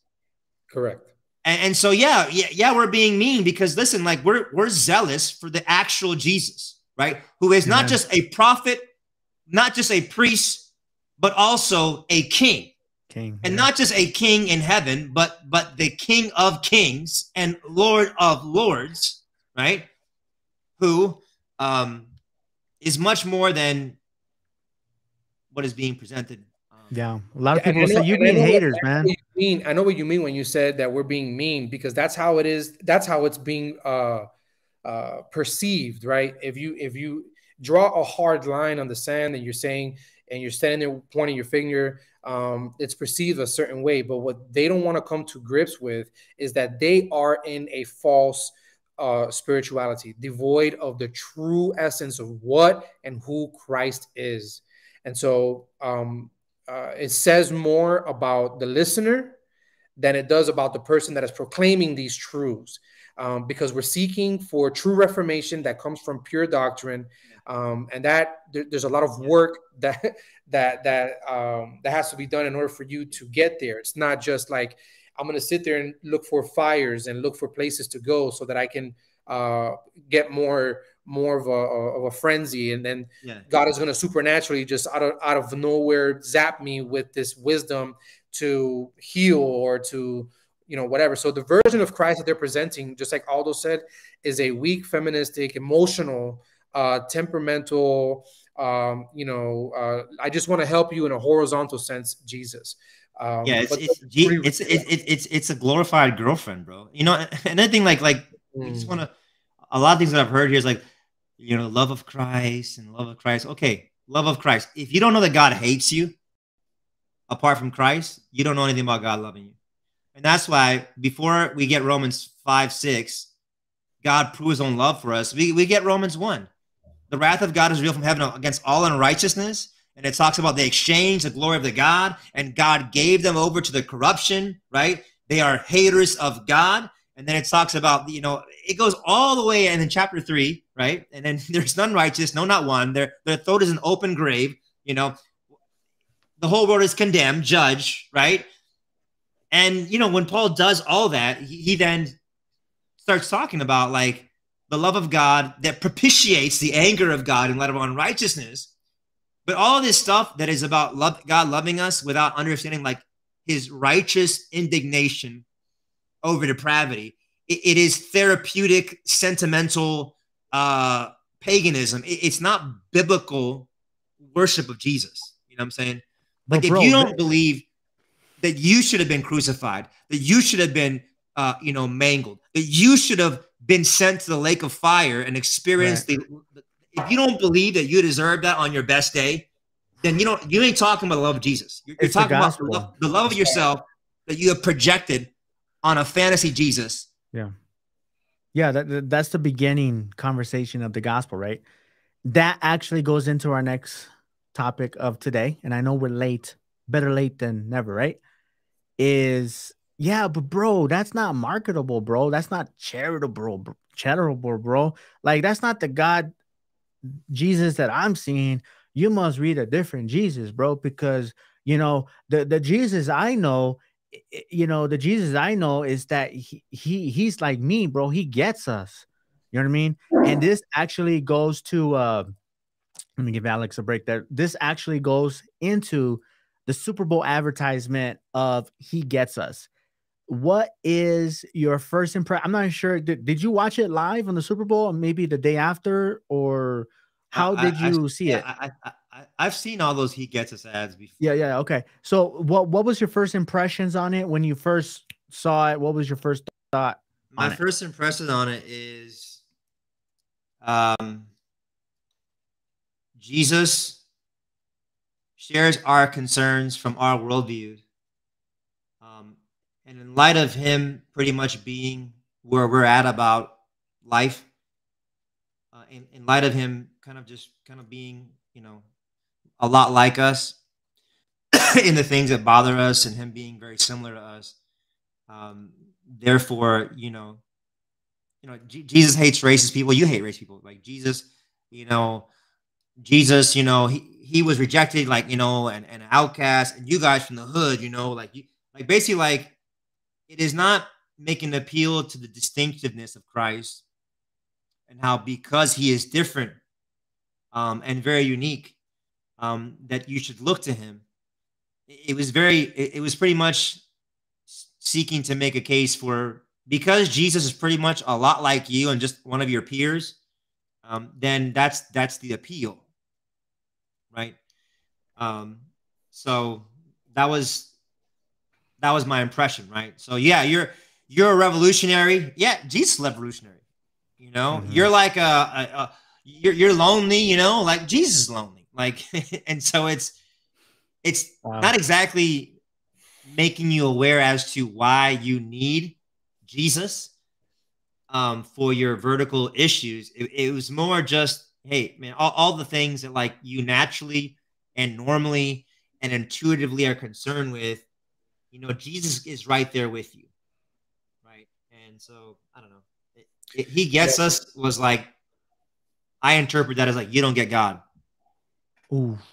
Yeah. I, I, I thought of it and I was like, whoa, what kind of commercials? Because when I, I watch the Super Bowl all the time, and I know many people don't like me because I just said that, but I watch it and I watched that commercial and I was like, oh, is this Black Lives Matter? Like that's the first because I had no idea who you know this organization was or anything, and I just watched it with my naked eyes, and I was like, "Is this a Black Lives Matter commercial? Like, what's going on here?" And then I was like, my wife, I told my wife, I was like, "This is a Black Lives Matter commercial." Like, what? And then at the end, I was like, "He gets us Jesus," and I was like, "Oh snaps!" It it was a yeah, yeah. A, a Christian commercial. I was like, "What?" Yeah, I was confused. It's a, it's a low view. It's a low view of who God is.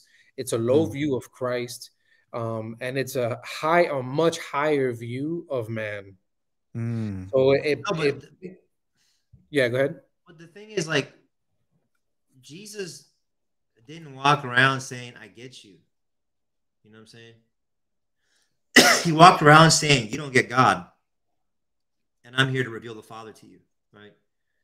You see what I'm saying? Like, like, yeah, the message of Jesus is not like, "Yo, I, I get you, man." It's like, no, like you don't get God, and that's why you need a mediator between God and man who reveals the Father um, in a way that demands your repentance um, and reception, right? Um, and he transcends, and he transcends uh, your socioeconomic status. It, it, it, doesn't that doesn't matter whatsoever. Yeah. Um, you know when it, what they're presenting is a view of Christ that he um, only is concerned with a certain class economic or socioeconomic class of people. Yeah. Hey guys, and what's the what's ironic about that is that they spent a hundred million dollars in this marketing campaign so That's that they exactly can present what I thought, bro. a low view of Christ. That's exactly what I thought because I was like, you know, I'm not, I'm not a fool. You know, Mama didn't raise no fool. I'm like, dude, how much it costs to make a Super Bowl commercial? Like one minute, it's like a million dollars every 30 seconds or whatever. Like they spend how much money? Do we even know how much money they spend on this commercial ad for this Super Bowl reach? Like You know? I would always I would always mention like darkness always sides with darkness because it's not like if you're you're it's it's not just uh the paying, but they have to approve the commercial as well. Um, and so uh, for for the world to approve this message of Jesus, you know, also kind of speaks to the fact that they are not presenting the true biblical Jesus because if they were, they would not allow that commercial, regardless of how much they paid, to be played on, on such a large um uh, large venue. Yeah, millions. Pastor E said millions. Yeah, it costs millions of dollars. So I'm thinking like, Well, it cost Man, 20 people- It, it cost 20 million to get onto the Super Bowl, but they, as a campaign, they have spent a hundred million dollars um, as a marketing Yeah. campaign from the moment that it started. 20 million for Super Bowl ads. Said This goes Doug. back to our original issue with Asbury. It's like, okay, how does God work? How does God work? The message of the cross is is what Paul says. He says, uh, you know, it, it is foolishness to those who are perishing, but to us who are being saved, it is the power of God. You know, man seeks, you know, Greeks seek wisdom, and the Jews look for power, but we preach Christ crucified. So I'm, I'm kind of like mixing and matching verses. The idea that we're going to be able to uh, win, right? We're going to be able to win uh, people to the Lord, not by the message of the cross, right? But by some gimmicky, therapeutic, Marxistic, you know, like sentimental, uh, horizontal, uh, like, like it's just ridiculous. Like we don't, God.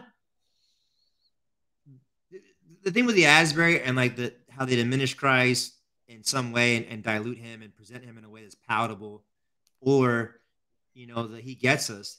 The more that you naturalistically present um, God, the less you need a supernatural means to convert men. The more you naturalistically present Christ and don't, you know, through the, you know, I decided to know nothing among you except Jesus Christ. And him. I, I, I did not come to you with lofty speech, right? Like the more you you add things or subtract things to make Jesus naturally appealing based upon what you naturally have apart from regeneration, the more you don't need the Spirit of God. Therefore, you can't even talk about revival because you don't even need something supernatural to get you to believe this because it's something that you would you would be inclined to believe if you didn't know God. You know?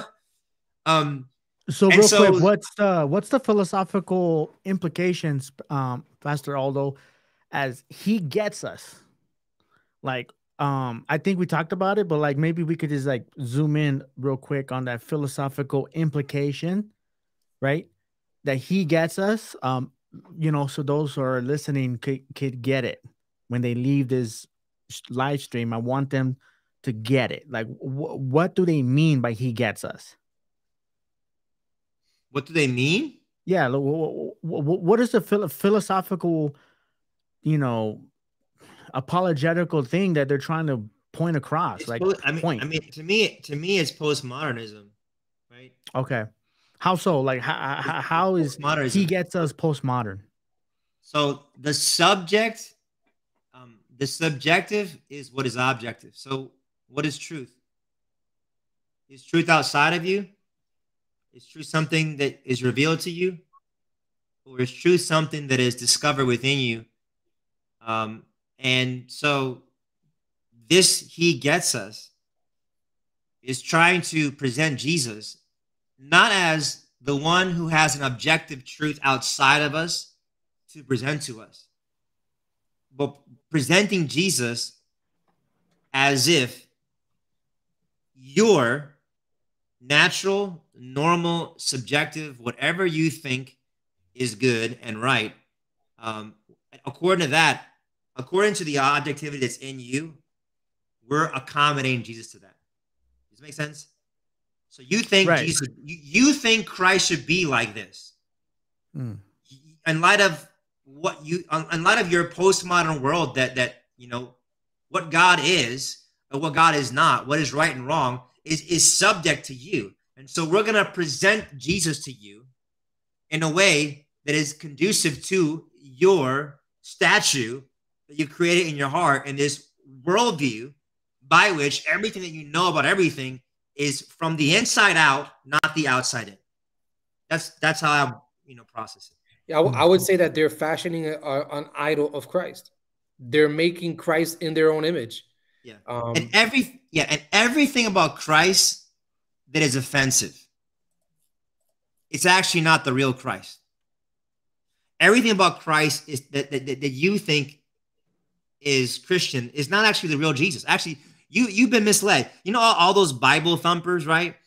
You know they talk about like you know homosexuality and the law of God and hell and you know and atonement and wrath, propitiation and holiness, like all those things. Like, bro, that's that's not the, that's not. You guys familiar with the quest for the historical Jesus?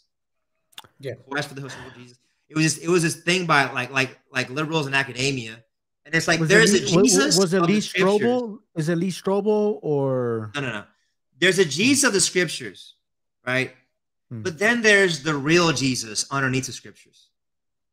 And so this is what it is. Like, yeah, you know, you know, you know, Jesus in the Bible, like the one who like uh um did what he did and said what he said. Um, there, there, there's a a Jesus underneath the scriptures that has been hijacked by you know all the uh, epistemological authority of, of, of unregenerate ideology. Um, and so it's like there there's a Jesus you don't know that you think you know. Um, and it's the one that pretty much it, it's like it's like the Jefferson Bible. Everything supernatural, everything offensive, everything that that you have a problem with, we've removed it and here he is, right? And so they they selectively present elements of Jesus um, that accommodate him to be according to like their idolatrous presuppositions about what God should be like. Um, and it's I think someone in the chat said something very interesting. Um, it's pretty much um, it's the Jesus that that it's the Jesus that is the fantasy of neo-Marxist university elites is the actual Jesus. That's what I would say. Mm. The Jesus that is a fantasy, an idol of neo-Marxist academia elites is the actual Jesus of the scriptures. You didn't know that. You didn't know that. But actually, now you know.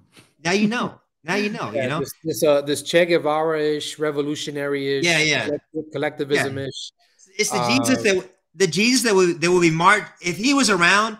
He'd be marching with bisexual, lesbian Marxists, you know, who rob the poor to live in million dollar houses. Like that's the that's it's that Jesus, you know. Right.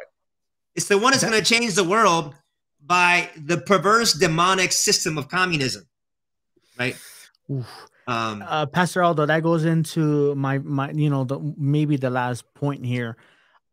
How does he gets us tells us where we are theologically, where we are as a nation, where we are culturally, because that's what you're talking about.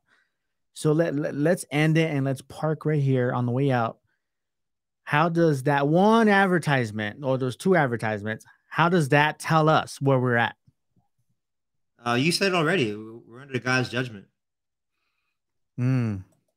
we're under god's judgment.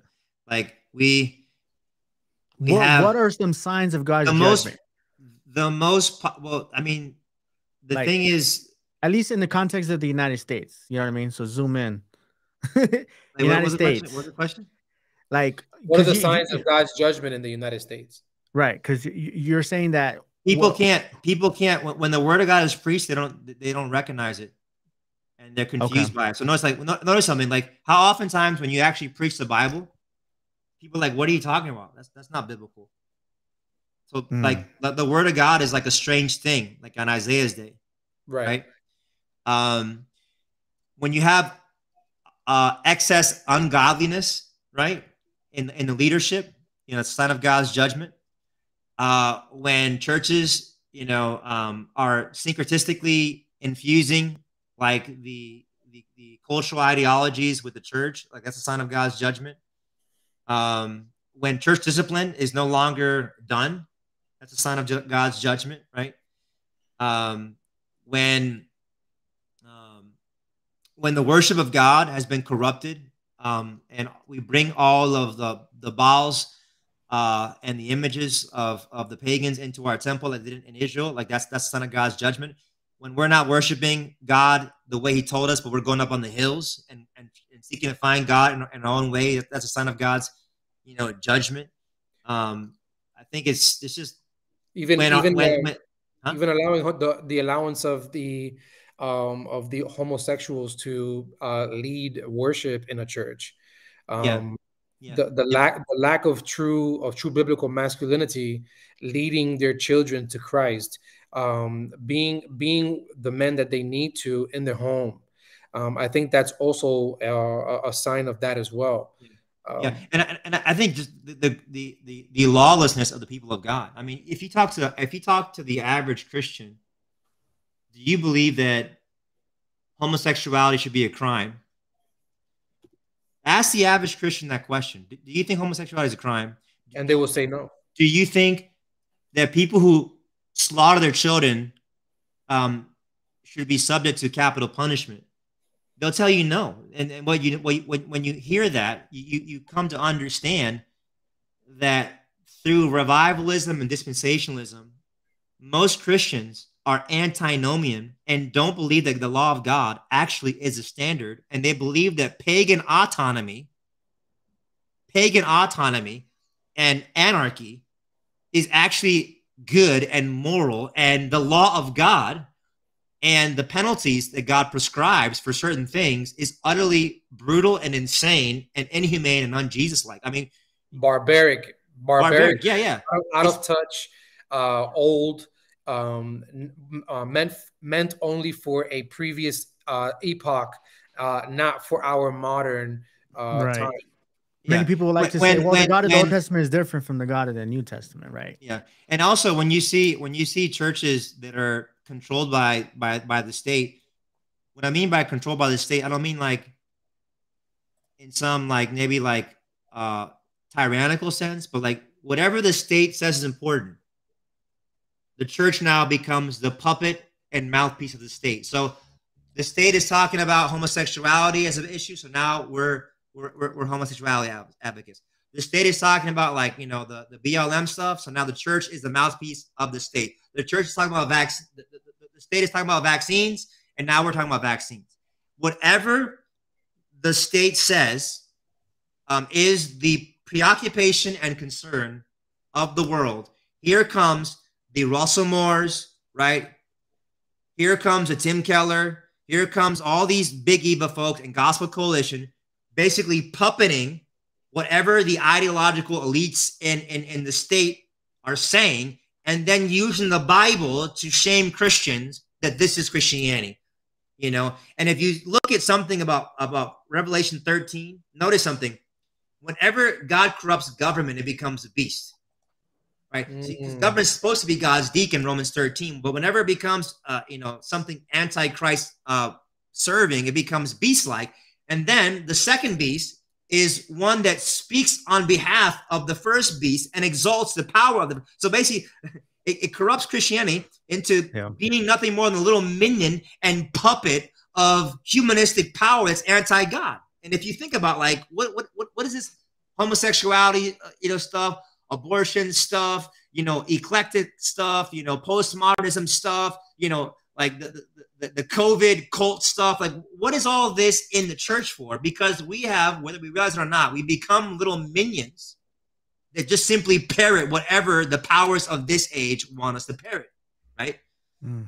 And and so if you look at like all this stuff, it's really just okay. Like, what does the people in power think is most concerning, most most supreme? And now the church has become pretty much, instead of being a mouthpiece of God unto the powers of this age, they've been co opted to be simply nothing more than deacons and, and minions of the powers of this age.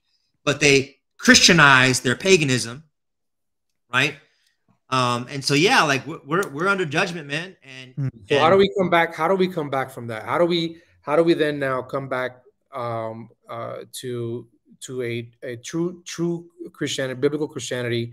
So how do we go from a He gets us and Asbury to uh, true revivalism, to true reformation, uh, uh, crucifying the flesh, walking after Christ, exalting Him, etc. So how, how is it that we get there? I mean, the simple answer is just find find a church that is that is uh, that is doing that, and take your family there, and seek to build that church up as much as you can, um, so that you know over time, you know we can begin to multiply um, healthier churches. I think one of the things that people do now, they tend to like have like the my I know my church is compromised. I know my pastors are little minions of big state. You know, I, I know like they're trying to like make some kind of like truce between Baal and Christ. Um, but you know what? Like I'm, I'm just gonna I'm gonna tithe here, I'm gonna serve here. Like I really think that Christians need to really quickly um and sooner rather than later support um, healthy churches um, for the long term future and and not waste another dime, another minute um, in these places that are really just doing nothing for Christ. They're doing nothing for the kingdom of God, and they're doing nothing for, for, for the average saint. You know that that's one practical thing. You, you need to find yourself in a faithful, simple, God centered, biblically worshiping, ordinary means of grace you know, church disciplining, practicing church. Very simple. Amen. It's simple, but it's hard, hard to find, man. There's you got to like Ooh. go through the the wilderness, man. Ooh. Uh, yeah, we, we we have to move. Uh, we have to pray for those people who need to move. How about that? But you know what's funny? You know what's funny? people leave California because the job situation is awful.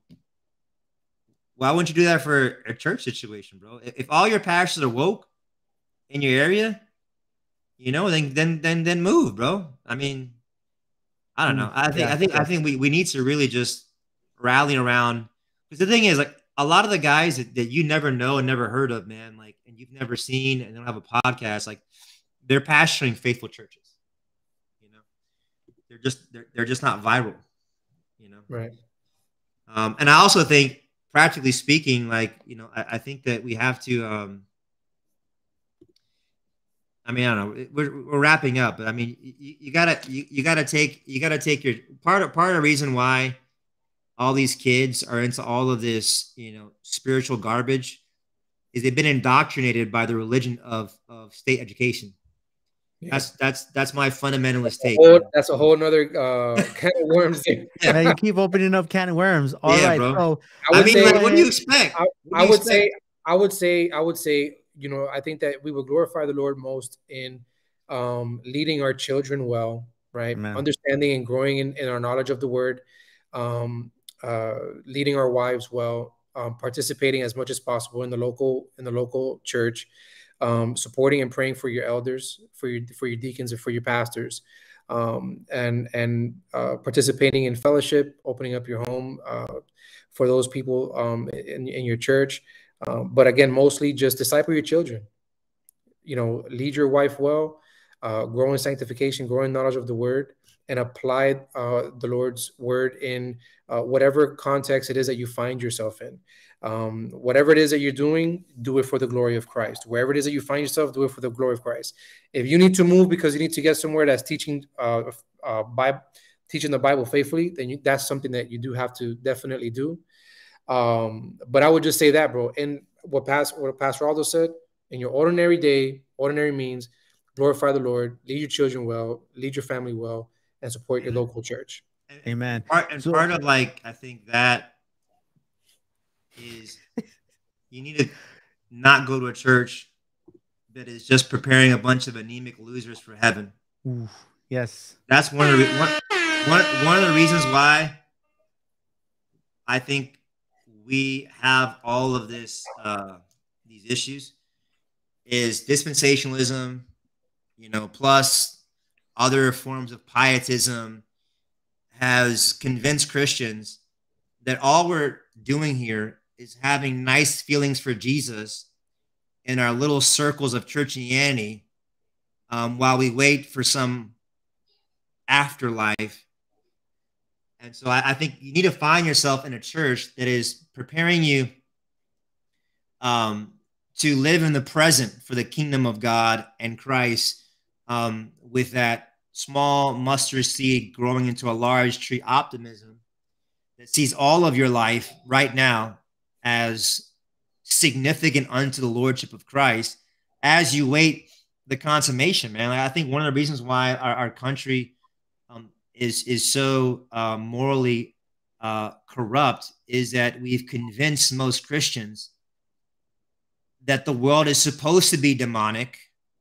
It's inevitably going to be a cesspool of demonism, and so on. In the meantime, just just evangelize people, have nice feelings for Christ, while you you know get ready for the afterlife. I mean, you you got to find yourself in a church that has much more of a comprehensive view of the Lord's doings um, in this present day.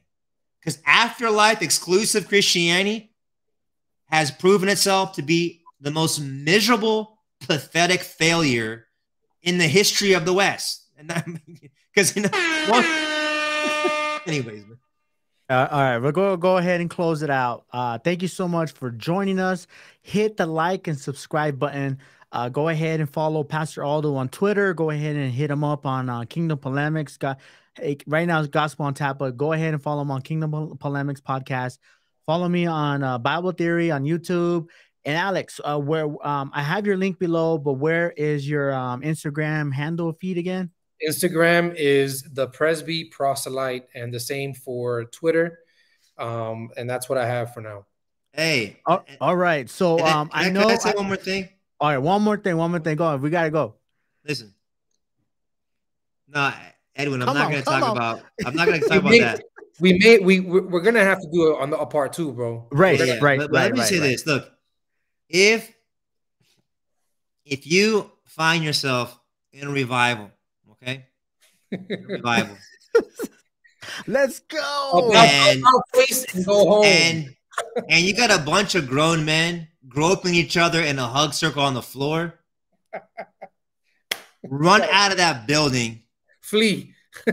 and never come back there, bro. Amen. Let me tell you something, man. The Spirit of God, in light of the glory of God, is not going to make you act like a silly, sentimental, sappy chick on the floor, bro. It's Amen. not. Amen. like chick. It's not. Amen. It's not. It's going to be like, you know what?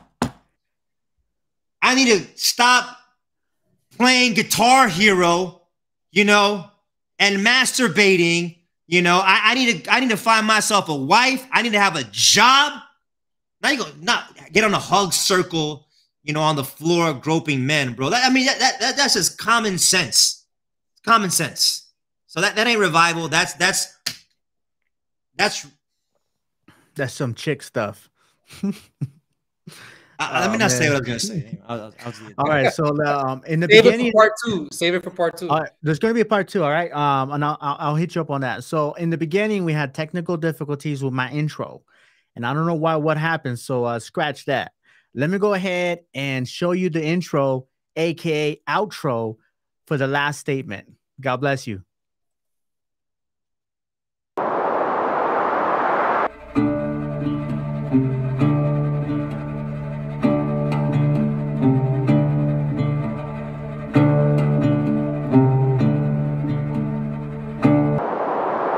Was in Canada, in Banff, Alberta, and received a, a message that I was to call the academic dean.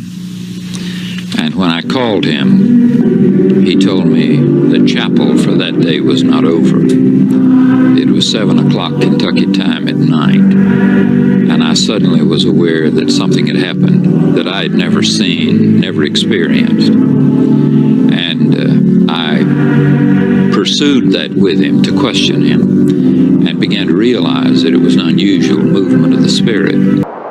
Um, and so we want to just show that confounding love of Jesus Christ to America and showed that his example and his teachings and his life really uh, hold the answers to our modern day challenges that we're facing individually and as a society. Revival, look left, and I look left, and there's this young college woman getting prayed over by an older woman. And he says, Look right, and then there's this young guy praying over an older guy.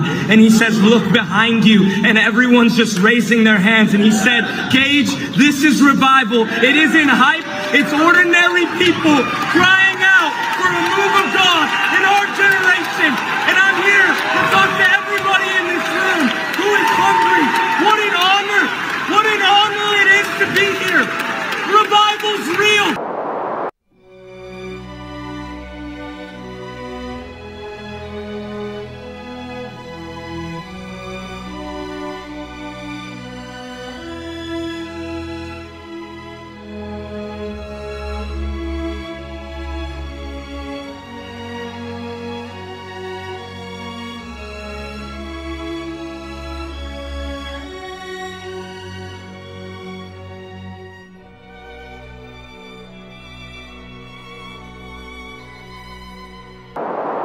because you might just need to test out the fruits and test out the spirits of it. And I'm just honestly, I'm so fed up with so much religious tradition that is really just dampening the move of God that is coming across this country.